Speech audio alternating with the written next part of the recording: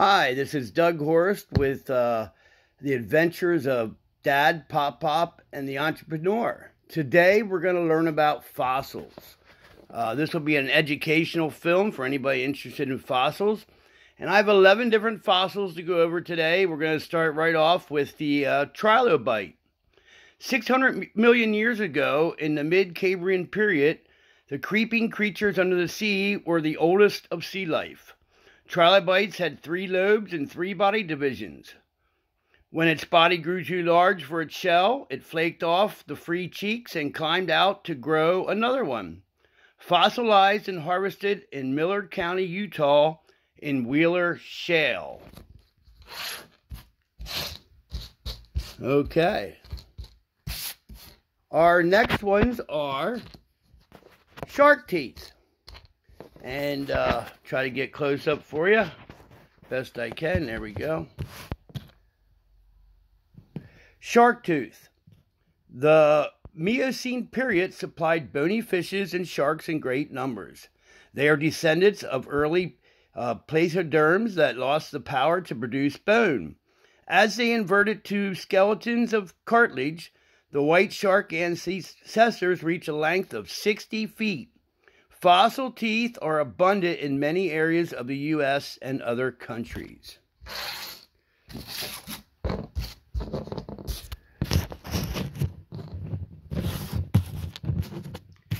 This is coral. And corals are part of a family called simple water animals that do not have circulatory or nervous systems. Sea anemones, I'm sorry, sea anemones are included in this group. My specimen is branching coral that attach themselves to the skeletons of their parents, a subclass having a wrinkled skin. This is from Moab, Colorado, Utah, Mississippian period.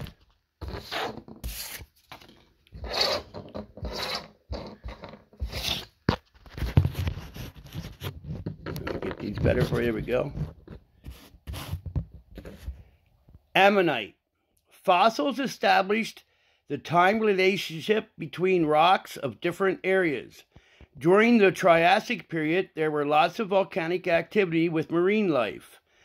Cephalopods were probably the most beautiful of all shell animals. Fossil remains can be found from the Devonian period.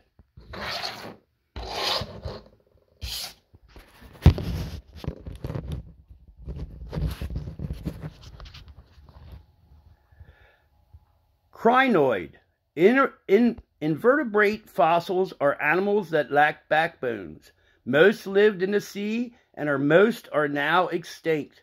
The crinoid looked like a flower on a jointed stalk in the Mississippian period. The class of echinoderms also includes starfish, sand dollars, and sea cucumbers. This specimen is part of the stem.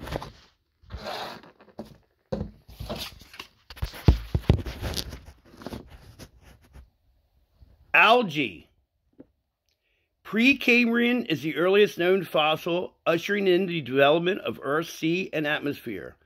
Algae is the only plant life that left a record of that time. Various kinds of seaweed are now a higher form. You are lucky to own I am lucky to own a representation from Millard County, Utah, Wheeler Formation.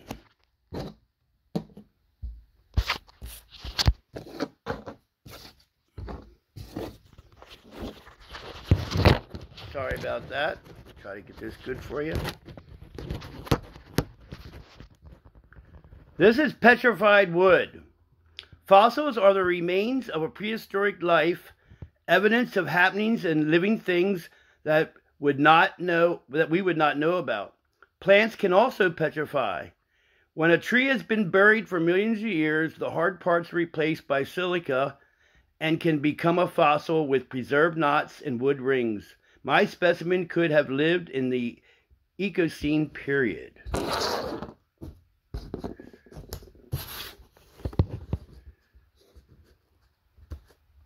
Brachiopod.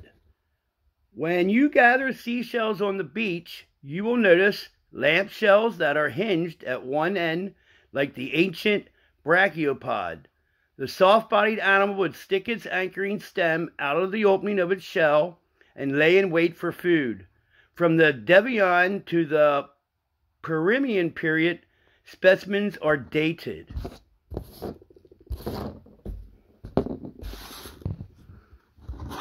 Sea urchin. During the Jurassic period, the sea flourishes with gigantic creatures.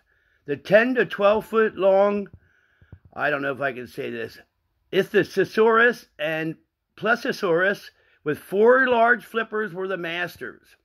Some of the ammonites grew to six feet in diameter. Among the host of sea life were the echinoids of, or sea urchins, a phylum of marine animals covered with fixed limy plates or spines of the echinoderman family. These creatures have a well developed nervous system. The world of sea urchins are found in many periods, from Ordovician down through time, at least Miocene, a span of 400 years.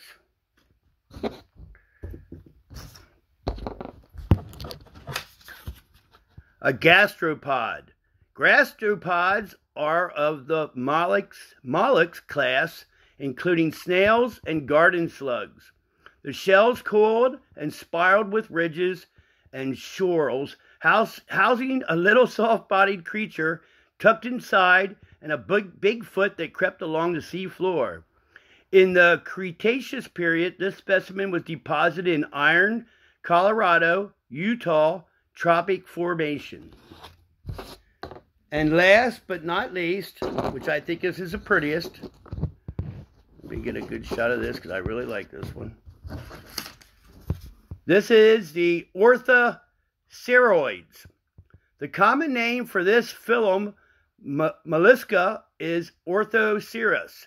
Some people called it the Pag- Pagado, Pagada stone. Class Cephalopoda. The informal name is Nautiloid. This fossil is 400 million years old from the Sahara Desert in Morocco. Its nearest living relatives are the nautilus squid, and the cuttlefish. That ends uh, my series on fossils. I hope you found this educational, and I just want to thank you. Have a great day.